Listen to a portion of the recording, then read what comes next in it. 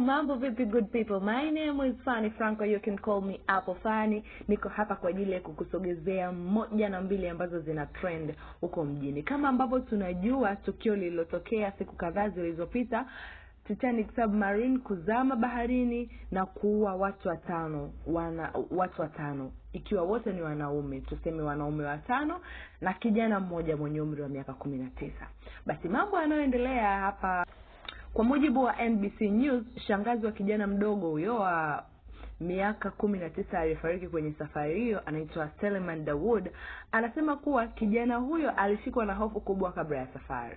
Azma Dawood ambaye ni dada ya mfanyabiashara wa Pakistan Shahzada Dawood amesema kuwa mpwa wake huyo mwenye miaka kumi na tisa alimtaarifu mmoja ya ndugu yake kuwa hakushawishika kushiriki kwenye safari ya kwenda kutalii kwenye kina ambacho kina mabaki ya meli ya Titanic.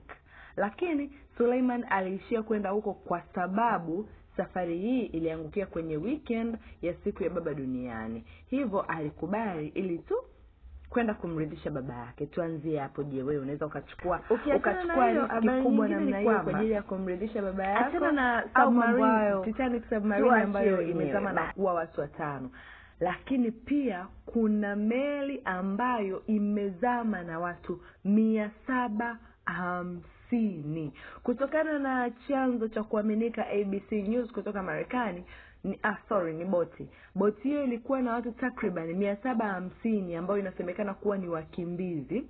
Inayodhaniwa kujaa kupita kiasi iliyokuwa ikitokea libya kuelekea italia. Imezama kwenye bahari ya greek boti hiyo ilikuwa inasafirisha wahamiaji kutoka libya kwenda italy kwa matumaini ya kutafuta maisha bora zaidi wasafirishaji hao haramu walihitaji kulipwa kati ya milioni kumi na mbili hadi milioni kumi na tisa ili kusafirishwa ili uh, ili kusafirishwa kwenye safari hiyo.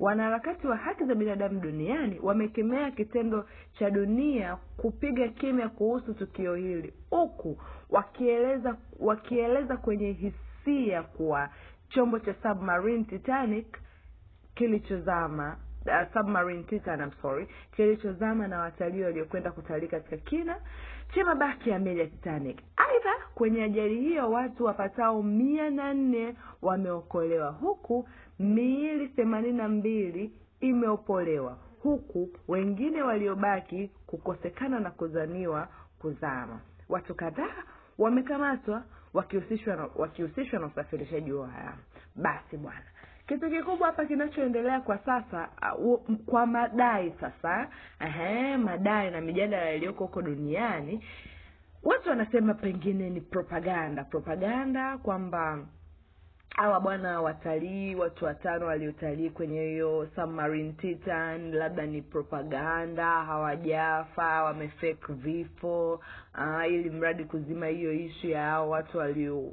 mia saba hamsini waliozama kwenye hiyo boti na nini. Mambo ni mengi. Mimi nitaendelea kukujuza kila litakaloendelea. Subscribe na turn on notification you can follow us on our social medias account busokelo tv unaweza ukanifollow mimi pia kupitia ukurasa wangu wa instagram facebook na twitter fani franco. Stay tuned. Until next time. Bye bye